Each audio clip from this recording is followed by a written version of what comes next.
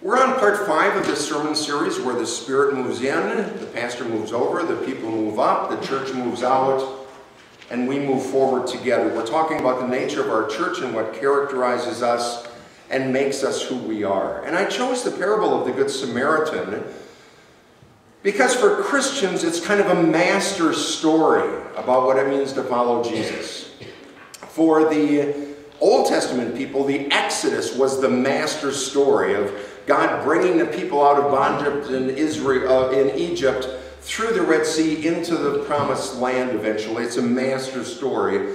For Christians, the Good Samaritan is a master story.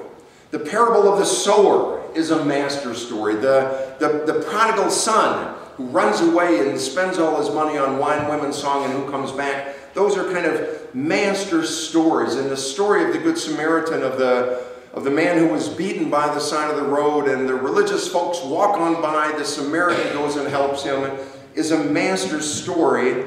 And at the end of it, Jesus says, Go and do likewise. Go and do likewise. That's what we're called to do. To go and do likewise with the message of God's grace and forgiveness. So, part of what defines a church that moves out is a church that does likewise, a church that moves out goes and does likewise. What defines a church is not its seating capacity, but its sending capacity. A church that seats a thousand people but doesn't send any of them out is not the kind of church that goes in the direction that Jesus wants it to go.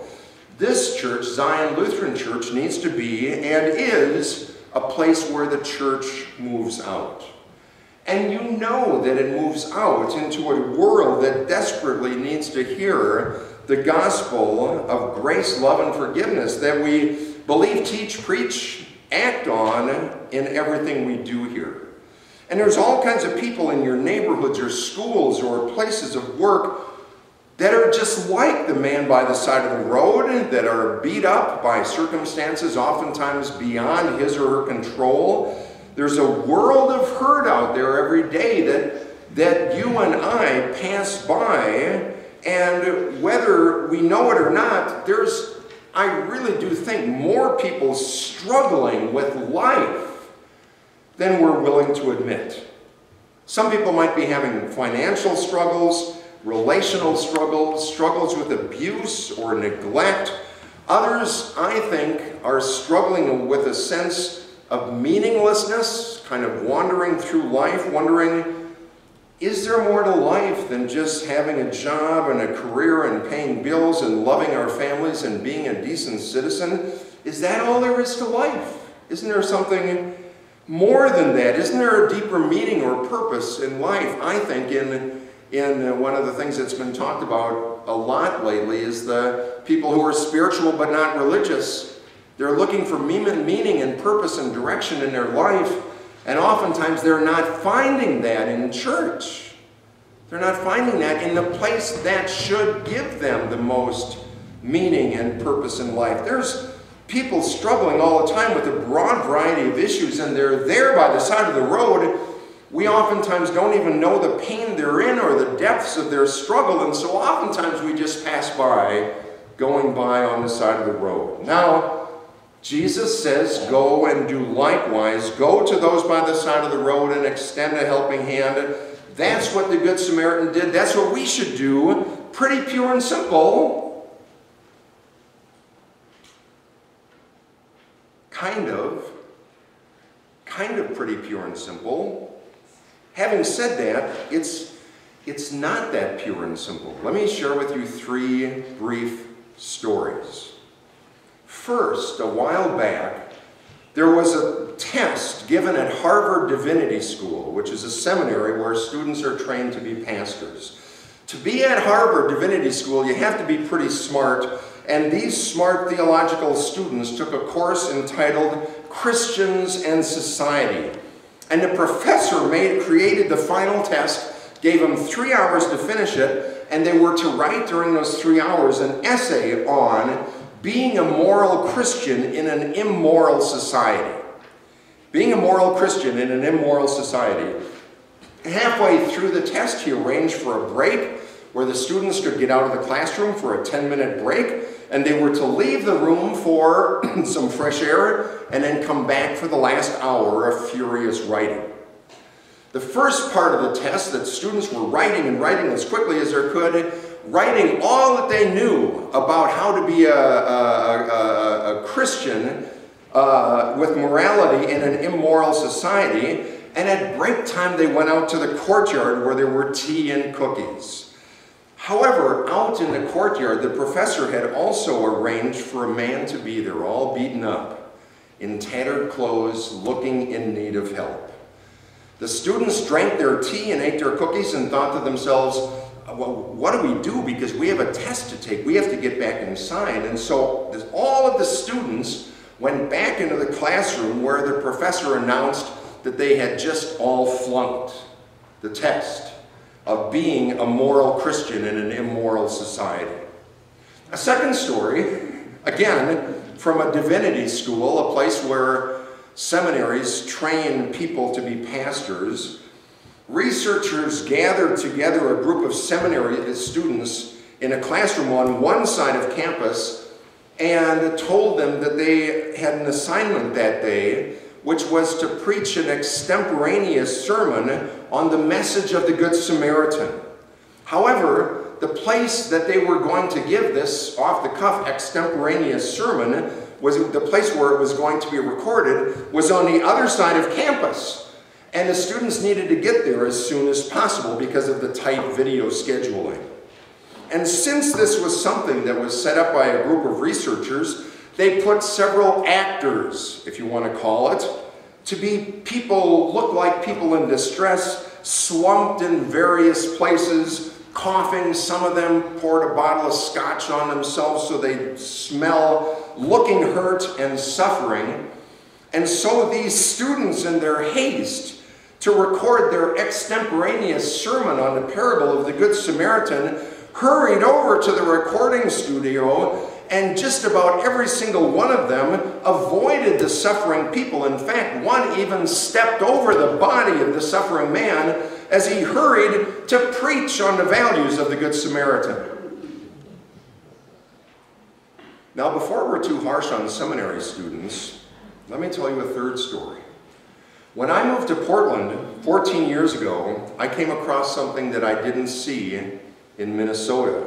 That is, people at the exits ramps with their tales of woe on cardboard, and I was moved.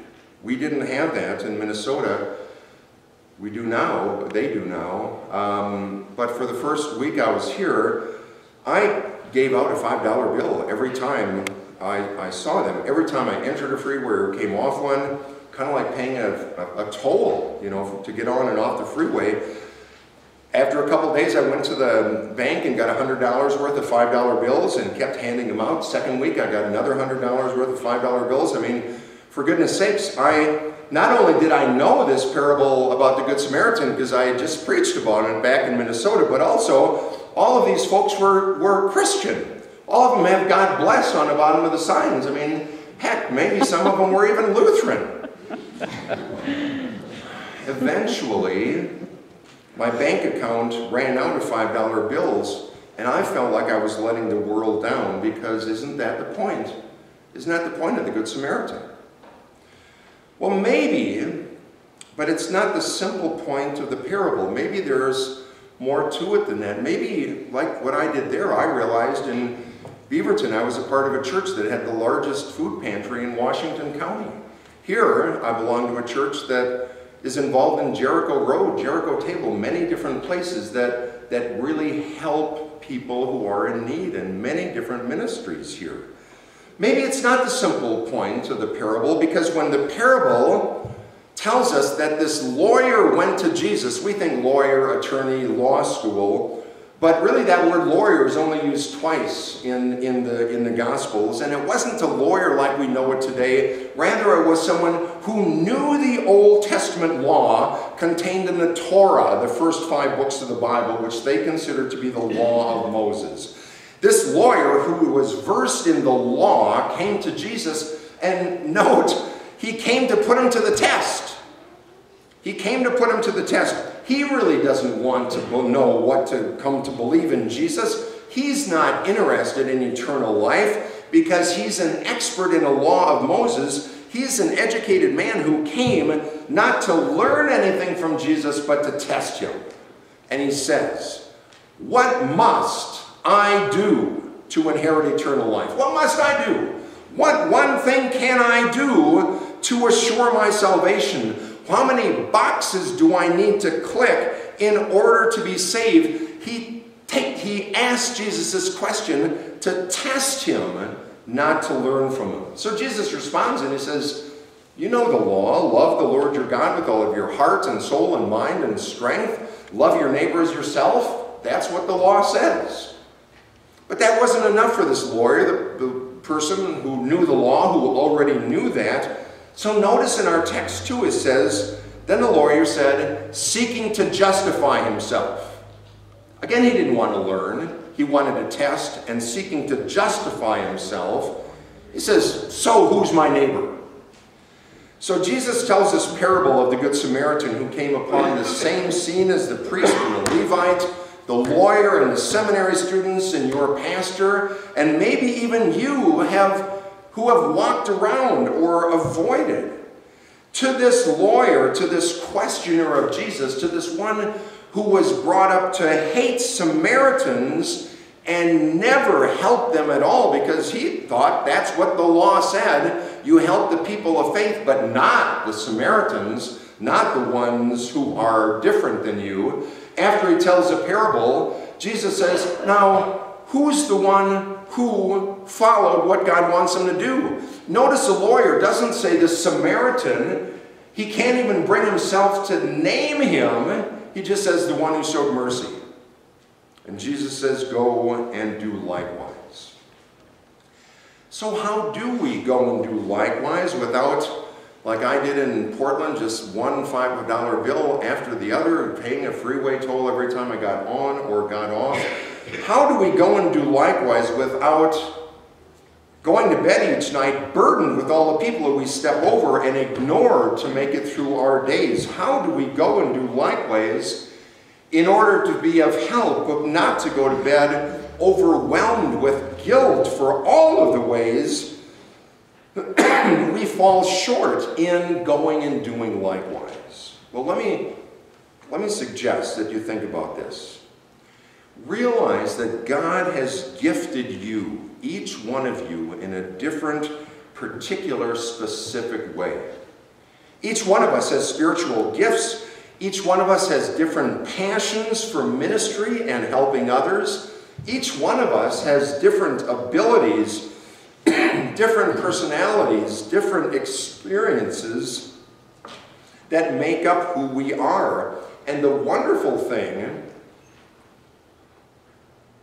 is that God has gifted you individually, specifically, particularly, in order to reach out to those on the roads that you travel every day, the different roads that each one of us travel every day. There's no one in this world with the same friends that you have. There's no one in the world who has the same workplace as you and go to the same school you attended, live in the same house, live in the same neighborhood. There's no one in this world who has exactly the same kind of people that walk and lie around the roads that you travel. And there's no one in this world who has your particular experience or witness. God has gifted you with a witness. God has gifted you with a witness. And I believe God has gifted you with a particular way in which you can be a good Samaritan somewhere on your path through life. In your bulletin, you'll see an insert just about a, a brief two-week survey about the ways, some of the ways that people at Zion are involved in some type of service outside the walls of our congregation some ways, just kind of a smattering of ways in which you use your gifts, abilities, skills, passions, experiences to be some type of Good Samaritan somewhere. That's just a survey from two weeks, the last couple of weeks of writing those things in the bulletin. Notice two things about that list. Notice in just a brief two-week survey how many areas in which people at Zion are involved in beyond the walls of this church. Notice, second, how many people are helped each week as Zion moves beyond the walls of this congregation to the needs of those in our community and beyond. Last week, I talked about a place where the people move up, and we talked about these opportunities at Zion I told you in last week's sermon that I really believe to be a spiritually healthy Christian, we need a ministry in church. That's what I talked about last week. I also believe, I said last week, we need a mission in the world. A ministry at, work, at, at church and a mission in the world. Those two are important for us to do to be spiritually healthy. Some people already have that. Some people already have that, a ministry at church and a mission in the world. But what if you don't? What if you don't have a mission in the world? What if you're just full up busy? You've got kids and you don't have a moment to spare for anyone anywhere. Your mission is your family. What if you're not sure about your mission in the world? What if you just haven't felt that God is calling you to serve anywhere? What do you do? Well, let me suggest three things if you're wondering about where your mission in the world is to serve. Three steps that might be helpful. First, love Jesus. Love Jesus. Simply love Jesus. And then find ways that you can love him more. Love the Lord your God. Love Jesus with all of your heart, all of your soul, all of your mind, all of your strength. What's the first commandment? Love God, love Jesus. Second, pray for discernment. Pray for discernment that your heart would be open, not, not only for what you want to do, but where God might lead you. Pray for discernment. And then pray some more that God might use your specific individual skills, abilities, personality, experience for that kind of service. And then third, trust.